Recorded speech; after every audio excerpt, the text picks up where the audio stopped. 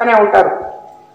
ఇన్ని పదవులు మనకు వచ్చినప్పుడు ఈ ప్రాంతాన్ని ఏ రకంగా అభివృద్ధి చేసుకోవాలి? ఏ ప్రా ఈ ప్రాంత ప్రజల్ని కష్టాలు మనం ఇంకే విధంగా సమర్థవంతంగా వాళ్ళకి సహాయపడాలనేది మేము ఆలోచిస్తున్నాం.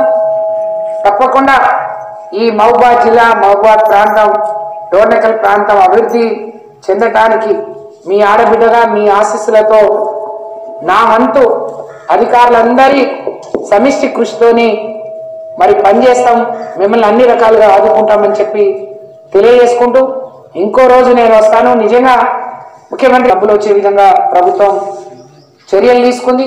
ఏ రైతు ఇబ్బంది పడకుండా మన పరిధిలో లేని మిర్చిని కూడా మరి ఆ గోడౌన్స్ అన్ని కోల్డ్ స్టోరేజ్ అన్ని కూడా ఇబ్బంది పడకుండా హమాలీలను కూడా ఈ జిల్లాలో ఏ విషయం వచ్చినా ఎస్పీ గారు కలెక్టర్ గారు మేము మాట్లాడుకొని ప్రజలందరికీ అన్ని రకాల సమస్యలు పరిష్కరించడానికి కలిసికట్టుగా పనిచేస్తున్నామని చెప్పి అదేవిధంగా అదే విధంగా చేసి ఈ ప్రజల కష్ట సుఖాల్లో మేము మీ బిడ్డలుగా అందుబాటులో ఉంటామని చెప్పి తెలియజేసుకుంటూ నిర్దేశించబడ్డది ఇప్పుడు మహబూబాద్ జిల్లా. మరి అది అప్లై చెప్పేసి మన కేసులు లేవని చెప్పేసి మనం ఇష్టారీతిగా తెలిస్తే మన చుట్టుపక్కల జిల్లాలో ఇది బాగా వ్యాపిస్తుంది. ఒక పక్క సూర్యాపేట ఖమ్మం వరంగల్ అన్నింటిలో కూడా ఉంది కాబట్టి ఎక్కడి నుంచి ఇది రావచ్చు. కాబట్టి ఎప్పటికప్పుడు మనం జాగ్రత్తగా ఉండాలి. ఇది ఏప్రిల్ ముప్పై మే మూడనే కాదు. ఇది చాలా ఇంకా కొద్ది రోజుల వరకు మన పూర్తి స్థాయిలో ఈ వైరస్ కంప్లీట్గా పోయింది. ఒక వ్యాక్సిన్ అనేది వచ్చింది.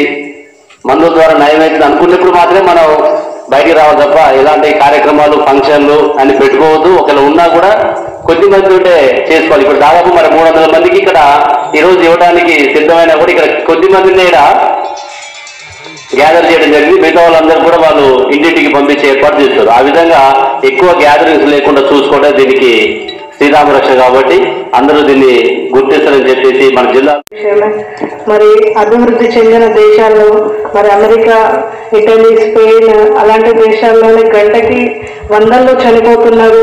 మరి మనం కూడా మన మన దేశం లాక్డౌన్ చేసుకోవడం జరిగింది. దాని యొక్క ప్రత్యేకతను తెలుసుకొని మరి అందరూ సామాజిక దూరాన్ని పాటిస్తూ మరి ప్రభుత్వం చేపడుతున్న ఆదేశాలను పాటిస్తూ మరియు అధికారులు జిల్లాలో ఉన్న అధికారులు అందరూ చాలా మన ప్రతి ఒక్కరి కోసం కష్టపడుతున్న వారి సలహాలను సూచనలు తీసుకొని ప్రతి ఒక్కరు వాళ్ళని సహకరించాలని విజ్ఞప్తి చేసుకుంటూ మరి గంతు రమేష్ గారికి మనస్ఫూర్తిగా కృతజ్ఞత